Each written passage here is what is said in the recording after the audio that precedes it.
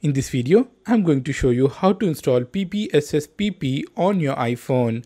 But before we get started, make sure to follow each and every steps carefully. If you miss any of the steps, then PPSSPP will not work on your iPhone. So watch this video till the end and let's begin.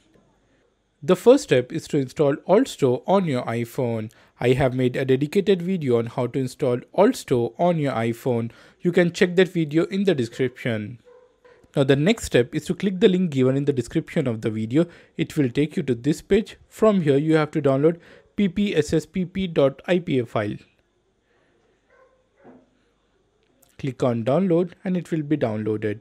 I have already downloaded that file. So this is the ppsspp file. The next step is to connect your iPhone to the computer via the data transfer cable. Now select the ppssp file. Long press this ppssp file, click on share. Here select AltStore. The progress bar is the installation bar. Now you can see ppsspp is successfully installed on my iPhone. But before opening it, restart your iPhone. Now before opening PPSSP, restart your iPhone. It is important to restart your iPhone for the proper functioning of PPSSPP. Now, now once your phone is restarted, you can open the PPSSP file. Now to play games, you have to download the ISO file.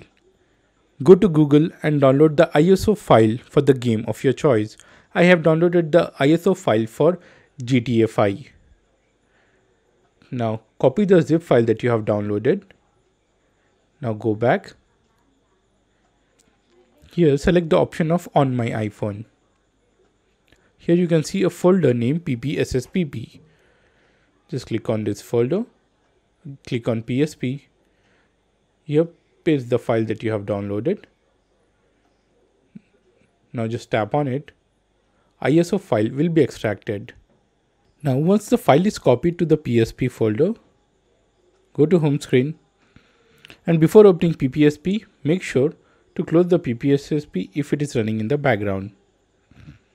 Now open PPSSPP. Now here you can see a PSP folder, just tap on this. Now here you can see the ISO file, Grand Theft Auto. Just tap on this. So this is how you can install PPSSPP and play games of your choice on your iPhone. So that's it about the video guys. If you get any errors, any type of issues, then feel free to ask them in the comments down below. So this is Simran here signing off until we meet again.